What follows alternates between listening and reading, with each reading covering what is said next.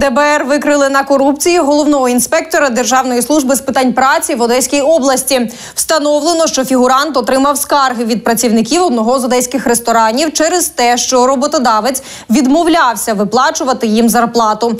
Чоловік користувався тим, що громадяни не були офіційно працевлаштовані. Проте, замість того, щоб реагувати на порушення, інспектор вирішив звернутись до самого підприємця та запропонувати йому співпрацю.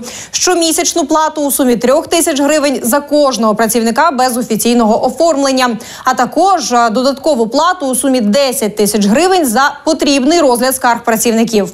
У разі несплати фігурант пригрозив штрафом та перешкоджанням роботи ресторану. Працівники ДБР затримали підозрюваного під час одержання хабаря у сумі 40 тисяч гривень.